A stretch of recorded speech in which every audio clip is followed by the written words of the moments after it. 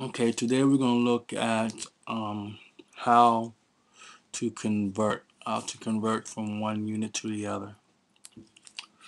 Okay, the most popular method of converting is using the factor label method. Within using the factor label method, what we normally do is we have um, two quantities that are related to each other by some number or some quantity. Um, for example, we know that four quarters is equal to a dollar. A mole is equal to um, Avogadro's number, 6.02 times 10 to the 23rd. A dozen is equal to 12. Um, in this relationship, it's a relationship that allows us to convert from one unit to another. So this is what happens when we're looking, when we're doing the factor label method. Okay, this chart here pretty much shows you relationship of numbers, um, the prefixes that are associated with um, measurements. So, for example, we have a megabyte or a kilowatt or a deciliter, a decaliter, whatever it is. Th these prefixes are the things that precede whatever that quantity is. What's important here is that we understand that the prefix represents a number. The prefix represents a number. So if I say one uh, kilowatt, kilowatt would be equivalent to a thousand watts.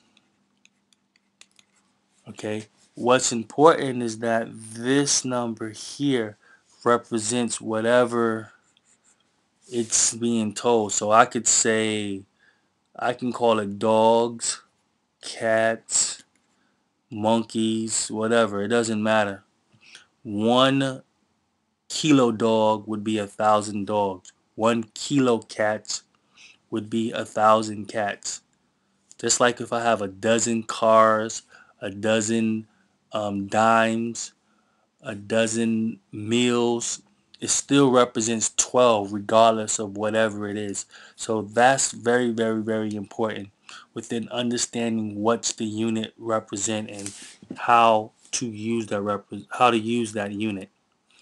Okay, let's take a look at some problems.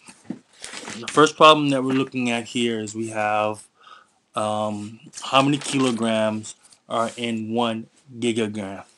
So the first thing that we need to understand here is that within this we're going to go from um, gigagrams to grams to kilograms. We're told that our answer or we're told that we're starting off with one kilogram and from that one kilogram we want to convert it in one gigagram we want to convert it to kilograms. So in order to make this transformation we need to understand two relationships. The first one is that one kilogram is equal to 10 to the third grams or we could say 10 to the third grams is equal to one kilogram and the other relationship that we need to know is that 1 gigagram is equal to 10 to the ninth grams, or we can also represent 10 to the ninth grams as 1 gigagram. So this is the relationship that we have, and with understanding that relationship, um, we can solve our problem. The question or the thing that we have to be able to do is to determine which relationship are we going to use? And this is simply solved by knowing what you want and what you want to get rid of. So whatever you want to get rid of in terms of your units will always be in your denominator and what you're trying to keep will be in your numerator. So let's set the problem up. How many kilograms is equal to one gigagram? Now what do I want to get rid of? I want to get rid of my gigagrams. I know that I have a relationship that shows me 1 gigagram is 10 to the ninth grams or if I have 10 to the ninth grams is to 1 gigagram I can use one of these relationships, but I want to use a relationship that's going to allow me to cancel out gigagrams. So this one here, gigagrams is in the denominator and grams is in the top. So kilo, gigagrams cancel out. And if I stop right here, my answer would be in grams. But I don't want to stop right there because I want to go from grams to kilograms. So I have to use another relationship. And then this relationship, I want my answer to be in kilograms. So that's what I want to be on top. So I have two relationships. I could have either this one or this one.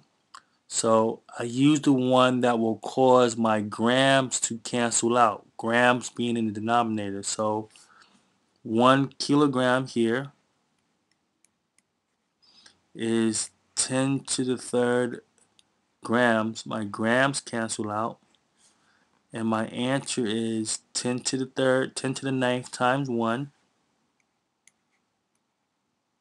divided by 10 to the third, which gives me an answer of 10 to the 6 um, kilograms.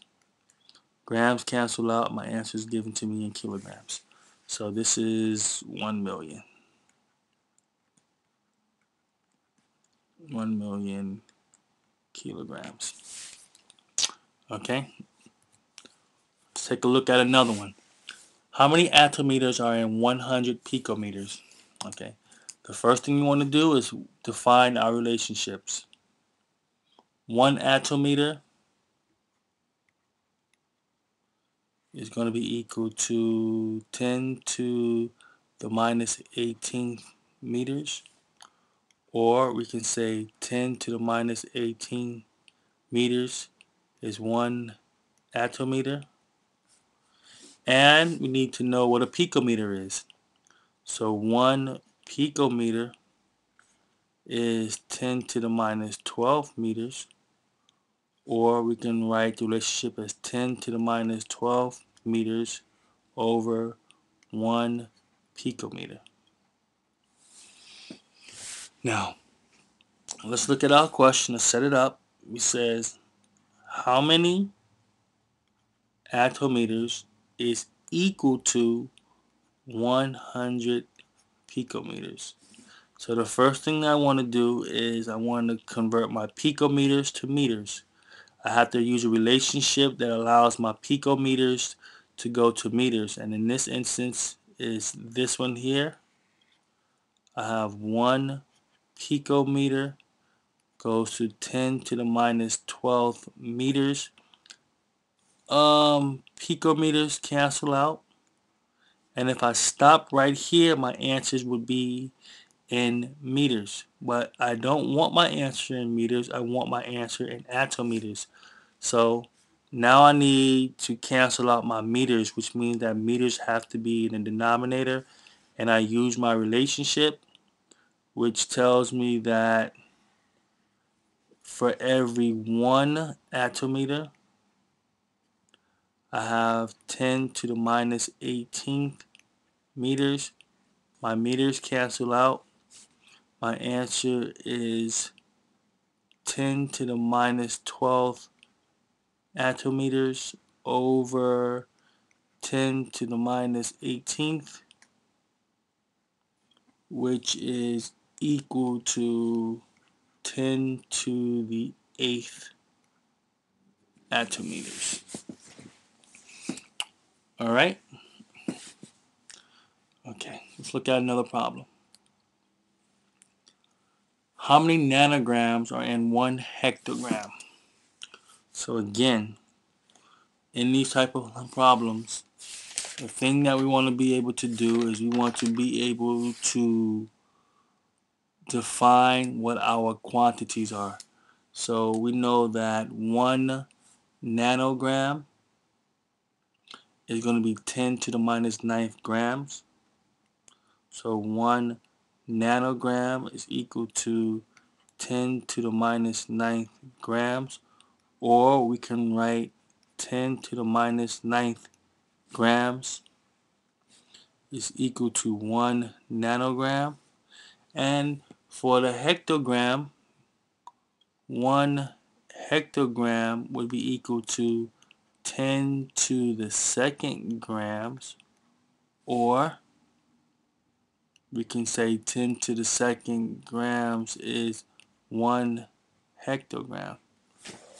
So these are the two relationships that we have. Now, the question now is to set up our problem. The question says how many nanograms is equal to one hectogram.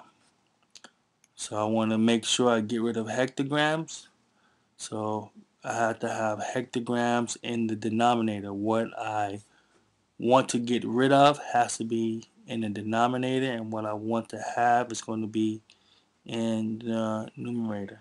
So one hectogram here is 10 to the second grams. Hectograms cancel out. And with my hectograms canceling out, I have my answer if I stop right here in grams. But I don't want to be in grams. I want my answer to be in nanograms. So I have to use a relationship that will cause grams to cancel out and nanograms to be on top.